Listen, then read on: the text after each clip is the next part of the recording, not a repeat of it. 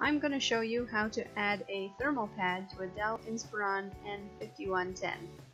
So here's my Dell laptop, nothing special, and I just have a few tools that I'm going to need to do this. So I have a precision screwdriver, I have a regular screwdriver with a magnetic bit, and I have some small tweezers which we might or might not need, and of course our silicone thermal pad. Now you can use um, thermal grease, which comes in something like that. I personally don't prefer it, only because it's very messy and doesn't last as long. So we're going to take the battery out, just set that off to the side, and the next part, this is important, we want to make sure we do this. We're going to open it up, and you're going to push the power button for about 10 seconds or so. You just want to drain out any excess electricity that might be running through the circuit board. That's what creates the electric shock. And that can uh, definitely fry out your motherboard or the hard drive. So just go ahead and take out all the screws. Took off the door panel there for the RAM. And uh, as we get to the end here, there is one spot that it's a little deeper, so you're going to need a precision screwdriver to get in there. So I just have this little thing because it's not very tight, so just to take that out. And then I'm just to use my magnetic bit here to just pull it out. So there we have it. So all our screws are out. And you want to make sure you put them in a place that you're not to lose them either. So put all your pieces off to the side. Now we're going to take out the keyboard. So to do that I just have a flat bit on the uh, little screwdriver here. Just to stick it in between.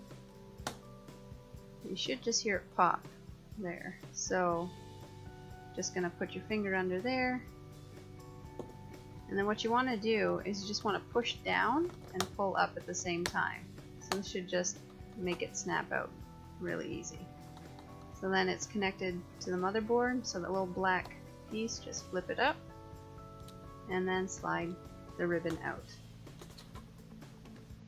So now we're going to remove the four screws that are holding this in. Again, we're going to remove these three ribbons that are in here. So just push those black pieces up and you're just going to pull out each ribbon one at a time. So by removing the screws on the top case, we're able to remove the um, CD drive here. So you just go ahead and pull that out.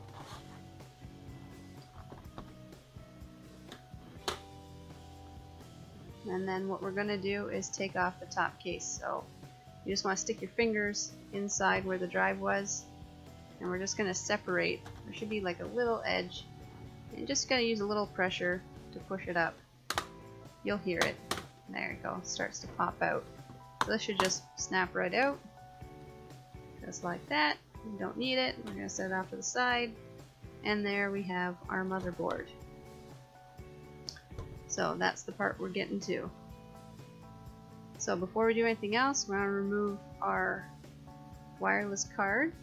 And we're also going to detach our LCD panel. So just undo that black ribbon. Undo our fan here. Want to take off the sound card right here. It just pops out. Again, set it off to the side where you're not going to lose it. And then we're going to pull out the speaker plug. And now we're all set to start taking our other pieces out. So just unscrew the wireless card here. Should only have one screw. That's a very small screw, so be careful with that. You don't lose it. It is much smaller than the rest of them. So you're just going to lift it up and should just slide out. Now we're going to go ahead and remove the LCD panel. So there are four screws holding this in. When you get to the last one, make sure you hold the panel as you unscrew it. You don't want to drop it and crack it or hurt it in any way because that's a very important part. So once you're done that, you're just going to carefully lift that out.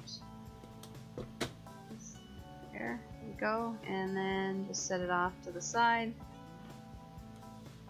And then what we're going to do is we're going to go ahead and start unscrewing our motherboard. So there are five or six screws depending on the kind of motherboard you have. So you don't have to unscrew the second board on the side there, just the main board here. So I'm going to go ahead and do that.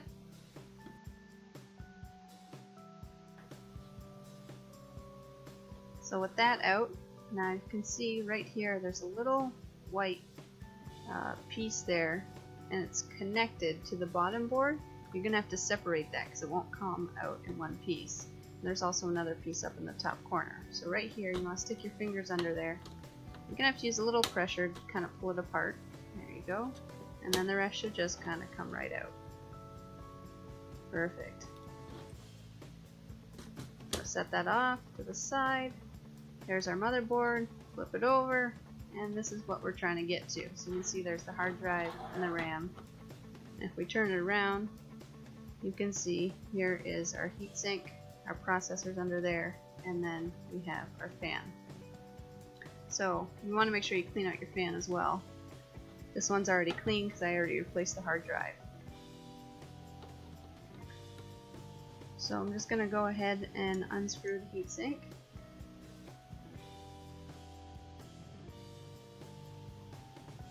Just carefully lift that off. Oh, gross. Okay. So if you can see that, this is the thermal grease that was already on there. And it is like caked on there. It is like super thick and stuck. I'm probably to have to scrape that out a little bit. And same with the processor. You can see it's actually around the pad on the processor. It's not even on it. So that's probably what was causing it to overheat that with the hard drive change was causing it to be overworked. So we're to go ahead and clean this off. You want some alcohol and just a q-tip and maybe some Kleenex. Nothing special. Alcohol works the best because it also dries quickly. Just put a little bit off to the side here and we're just going to go ahead and clean this all out. Hopefully it comes off with this.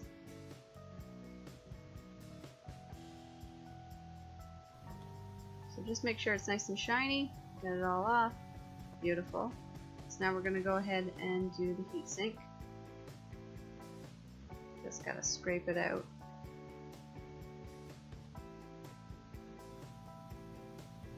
Okay, looking good. So I'm just gonna give it a quick dry. And you can see here on the side, there's this little silicone piece that was already there. It's actually got holes in it.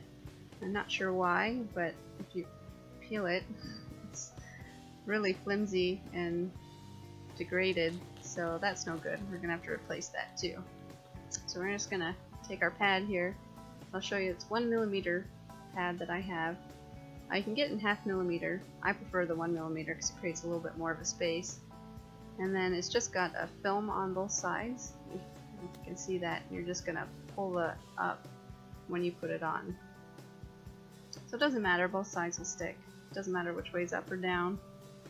So we're just to go ahead and cut the size that we need.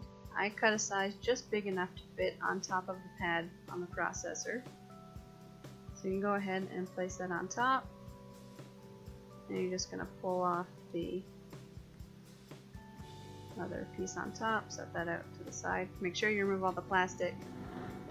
And then we're going to add a new piece of silicone to our our little uh, thing here.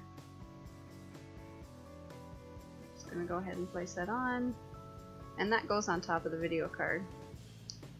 Okay, so that's all set. So everything's all ready to go. We're just gonna go ahead and put that back on. Now, when you put this back on, make sure you put your wire through the hole here for the fan. Uh, otherwise, if you end up screwing it on, it'll get stuck in there. You don't want that. So we just want to line up all the screw holes just very carefully.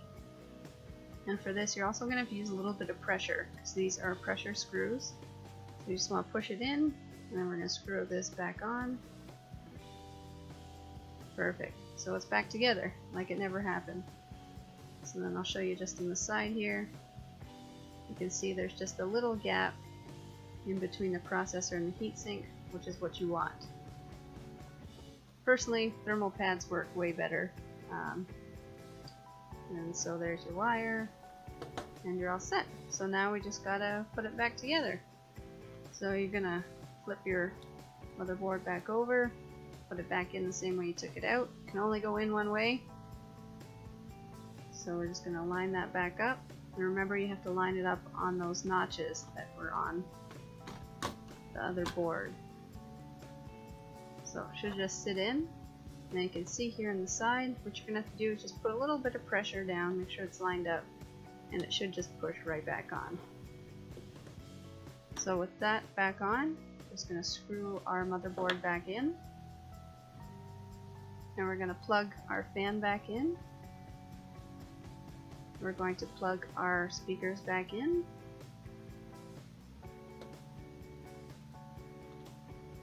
We are going to put our sound card back on. It can all go in one way. So I have the little hole just facing towards the outside. Should just push right on, just like that. Putting our LCD back on. We're going to put the wireless card back in, just kind of on an angle, and then push down. And we're just going to screw that back on. We're going to plug the LCD back in, that little black ribbon that we pulled out earlier, to push it back. Go. You want to make sure that you're able to get the ribbon out if you ever have to take it apart again. That one's kind of stuck, so there, the tweezers came in handy. Just kind of push that out. Perfect. Put it all back together. There we go. Everything is back together. Just screw on the base.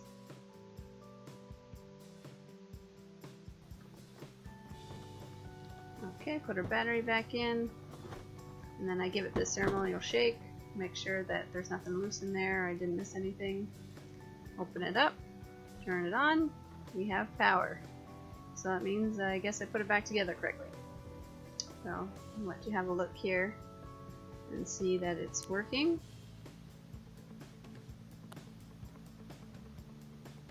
It actually boots up pretty quick now. Let's see, the fan's starting to blow. Oh yeah, nice cool air. That feels really good. So that should last quite a while. To just turn it on. And there you go. It's working. So that's it. Thank you for watching, and remember, silicone is better than the grease.